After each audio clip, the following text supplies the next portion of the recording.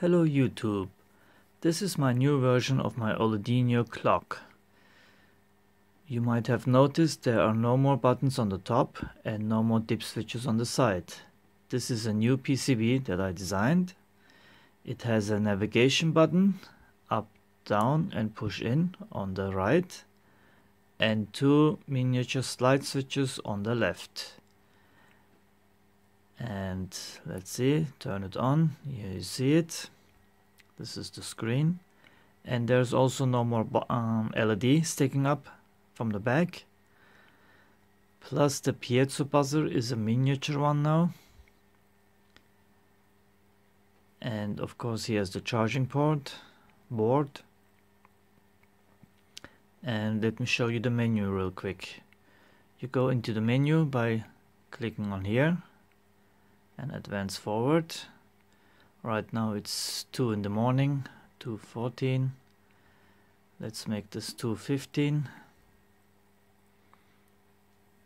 you adjust the minutes and hours by pushing up 2.15 pushing in again. Okay now the alarm is set.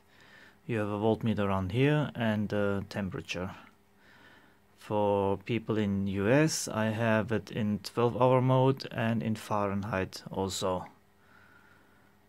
And as you see you have the four LEDs in the corners as a visual indication. And the buzzer is switchable. You can turn it on and off. And this is it. I think it looks nice and if you want to turn off the alarm before the minute is up normally it runs a minute. You just click on here and it turns off. Till you turn it on the next time. Okay I will pause the video and I have a surprise also. Just a second. Okay here we go again. What did I do? Do you notice this thing here it is a magnetic charging port now. And you have a cable and you just click it and then it's connected and it's charging right now. You see it by the red LED in the middle here on the charging board. And you just take it off like this. Click it on like that. Take it off like that. Click it on like that. Take it off like that and this will be an option when it goes on sale on Tindie you can of course get it without it also. Plus I will be offering some extra of these little plugs.